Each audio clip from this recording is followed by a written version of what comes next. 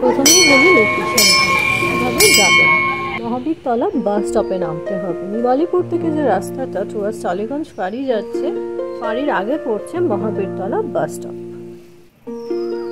Aditya store অ্যাড্রেসটা আমি বলছি। Two B H by one Dinesh Das Sarani, Chetla, Kolkata fifty three সে চায়ের দোকান, এগুলো দিয়ে আমি যাচ্ছি। কষ্ট করতে হলো মন্দিরটা খুঁজে পেতে।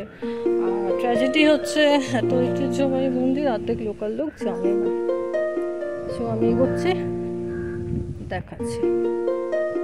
মন্ডল টেম্পল লেনে অবস্থিত এই মন্দির সম্পর্কে যা কথিত আছে, সেই ইতিহাসটা আপনাদেরকে একটু বলছি। বাসুদেব রায়ের নাতি শোভারাম মণ্ডল উপাধিতে ভূষিত হন। শোভারামের নাতি রাজারাম ছিলেন হিজলির রাজা সেনাপতি।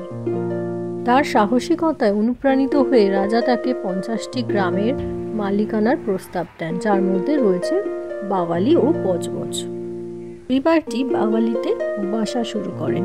এটি সতেরোশো দশ সালের দিকের ঘটনা রাজারামের নাতি হারাধনের অধীনে পরিবারটি বিকাশ লাভ করে, যিনি ইস্ট ইন্ডিয়া কোম্পানির পৃষ্ঠপোষকতা উপভোগ করেছিলেন।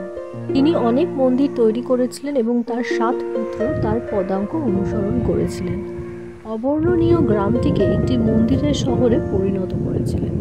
এই দুজনেই পারিবারিক ঐতিহ্য বজায় রেখেছিলেন এবং তালি নালা আদি গঙ্গার তীরে বেশ কয়েকটা মন্দির ও মন্দির কমপ্লেক্স নির্মাণ করেছিলেন। শোনা যায়, আঠেরো শতকে রবার্ট ক্লাইভ মণ্ডলদের কলকাতায় বসতি স্থাপনের জন্য আমন্ত্রণ জানান। রামনাথ মণ্ডল এবং মানিক মণ্ডল ক্লাইভের আমন্ত্রণে সাড়া দিয়ে বর্তমান চেতলা টালিগঞ্জ এলাকায়, যেটা টলি নালার আদি গঙ্গা বলে পরিচিত, সেখানে বসতি স্থাপন করেন।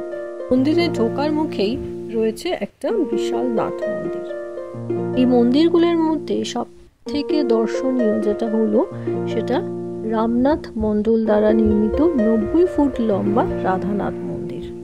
এটি ঐতিহ্যগত নবরত্ন পরিকল্পনা অনুসরণ করে এবং নয়টি চূড়া নিয়ে গঠিত। মন্দিরটি রাধাকান্তকে উৎসর্গীকৃত এবং এখানে রাধাকান্ত, রাধা, লক্ষ্মী নারায়ণ এবং অন্যান্য দেবদেবীর মূর্তি রয়েছে। যেটা শুনে এসেছিলাম রাধাকান্ত মূর্তিটি কালো পাথর দিয়ে তৈরি আর রাধা ও লক্ষ্মীনারায়ণের মূর্তিটি অষ্টধাতু দিয়ে তৈরি, যা আটটি ধাতুর একটি ধাতু। কিন্তু মন্দিরের পুরোহিত মশাই কখন আসেন ঠিক থাকে না। উনি জেনারেলি বলছে আশেপাশের লোকজন সন্ধেবেলা সাড়ে সাতটায় আসে, সকালে মন্দির খোলে না। তাই বিগ্রহ দর্শন করা সৌভাগ্য হলো না। মন্দিরের গায়ে জটিলভাবে নকশা করা ফুলের মোটিফের সাথে মুকুটযুক্ত তাই আমার মতো যারা পুরনো মন্দির দেখতে ভালোবাসেন, তারা অতি অবশ্যই টালিগঞ্জ এরিয়াতে একবার আসবেন, সময় সুযোগ করে। আর চেষ্টা করবেন একটু সন্ধ্যের দিকে আসতে, কারণ পুরোহিত মশাই আসেন সন্ধ্যেবেলা। তাই তিন চারটে মন্দির এই এরিয়াতে আছে। আমি সব ডেসক্রিপশন বক্সে লিঙ্ক দিয়ে দিলাম ভিডিও লিঙ্ক বড় রাসবাড়ি, ছোট রাসবাড়ি, রাধানাথ মন্দির আর শ্মশানের কাছে আছে মাইসোর টেম্পল। এই চারটে একসাথে দেখে যেতে পারেন। হয়ে যেতে পারে আপনাদের একটা ওয়ান ডে ট্রিপ সবই হেরিটেজ বিল্ডিং